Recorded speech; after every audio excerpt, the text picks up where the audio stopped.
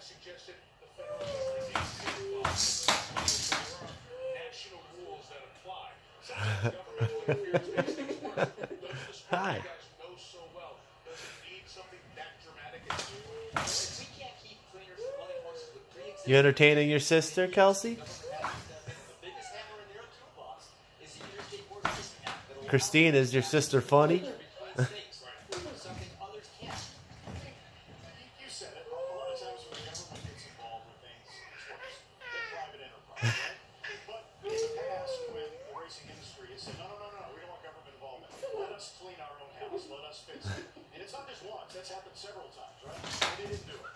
And so now, I mean, I think we both hate to say it, but it looks like that federal involvement is going to